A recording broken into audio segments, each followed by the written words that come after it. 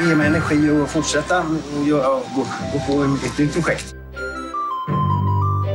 Uh, about endlessness. Hey! Confess! I will be in prison for this scene. Actually, I must confess that it's not perfect title.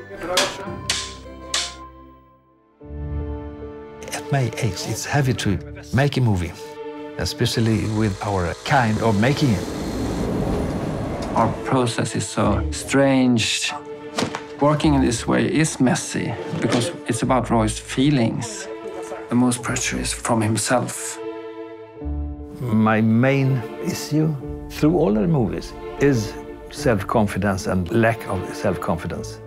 It's hard mentally and physically to make a feature. Maybe a glass of whiskey will help me to relax and to feel. Has it become part of your creative process, drinking?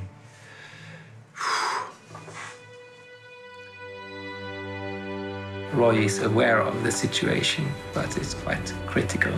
We need him to want to change, and we don't know if that's possible. Not very surprised, but disappointed.